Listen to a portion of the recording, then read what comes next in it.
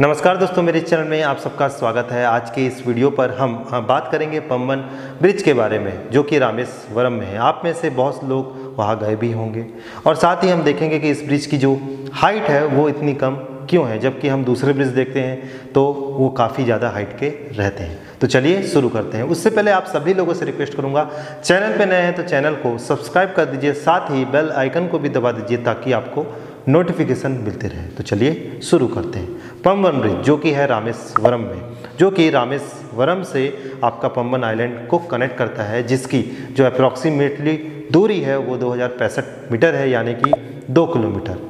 एक तरीके से ये जो पम्बन ब्रिज है, ये ब्रॉड गेज रेल ट्रैक के लिए बना है, जिसमें ट्रेन पास होती है।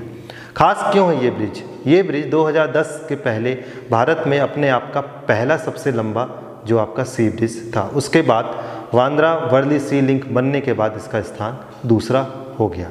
ये जो ब्रिज है, ये ब्रिटिश टाइम का ब्रिज है, जो कि 1911 में इसका कंस्ट्रक्शन का काम स्टार्ट हुआ और साथ ही 1914 में आम लोगों के लिए ओपन हुआ। इसमें ब्रॉड गेज रेल ट्रैक है और साथ ही आप देख पा रहे होंगे कि ब्रिज की हाइट जो है काफ़ी कम है। क्या रीज़न है इसकी हाइट इतनी कम होना का?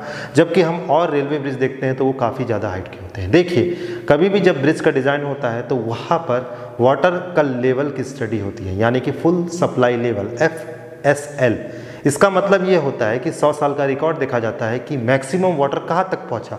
तो उसी के हिसाब से आपका ब्रिज का डिज़ाइन होता है। अगर कोई रेलवे ट्रैक गंगा रिवर से पास हो रहा है और समझ लीजिए तो उस समय अगर ब्रिज का निर्माण करना है तो वहाँ पर एफएसएल की स्टडी की जाएगी। सौ साल की स्टडी की जाएगी कि कहाँ तक मैक्सिमम पानी पहुँचा। तो उसके हिसाब से ब्रिज का डिज़ाइन होता है। लेकिन समुद्र में मैं आपको ये कहना चाहता हूँ कि समुद्र से अगर आप पानी निकालते भी हैं और समुद्र में पानी जाता है तो भी समुद्र का जो लेवल है वो नहीं बढ़ता। केवल जो लहरें आती हैं, उसके हिसाब से आपको डिज़ाइन करना पड़ेगा, लेकिन समुद्र का स्तर नहीं बढ़ता। अगर एक मीटर भी समुद्र का स्तर बढ़ गया तो सोचिए, बहुत सारे कंट्री डूब जाएँगे। मतलब एक मीटर बढ़ना भी बड़ी बात होती है। तो इस वजह से जो इसकी हाइट है, इतनी रखी गई है कि ज़्यादा अगर रखते गई तो इकोनॉमिकली पॉइंट ऑफ़ व्यू से काफ़ी पैसों का लॉस होता। तो एक तरह से वो सेफ़ है। अगर थोड़ी बहुत लहरें भी अगर आए तो कोई नुकसान ना पहुँचे, उसकी हाइट चार से पाँच मीटर है। तो इस वजह से यहाँ पर जो ब्रिज की हाइट है, वो काफ़ी कम रखी गई है।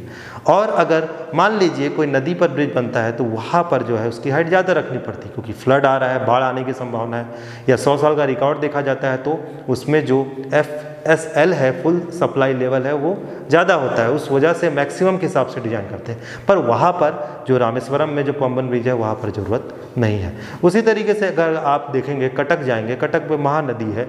महानदी की जो, जब महानदी से ट्रेन निकलती है तो उसकी हाइट काफ़ी कम है। क्योंकि वहाँ पर जो मैक्सिमम वाटर लेवल है, या फिर समझ लीजिए एस एल है, इतना अधिक नहीं जाता, क्योंकि जो वो एंडिंग पॉइंट है, समुद्र पे मिलने वाला है वे ऑफ़ बंगाल बंगाल की खाड़ी में वो महानदी मिलने वाली उस वजह से जो नदी भी है, वो पूरी एक तरह से स्प्रेड हो गई है। बड़े से डेढ़ दो किलोमीटर के एरिए में स्प्रेड हो गई है, फैल गई है, इस वजह से जो पानी का स्तर है, उतना ऊपर नहीं आ पाता। इस वजह से जो ब्रिज का डिज़ाइन है, वो आप कम हाइट पर भी कर सकते हैं। आई होप दोस्तों ये इंटरेस्टिंग बेस्ड वीडियो आपको ज़रूर अच्छा लगा होगा। तो मिलते हैं अगले वीडियो में। Thank you very much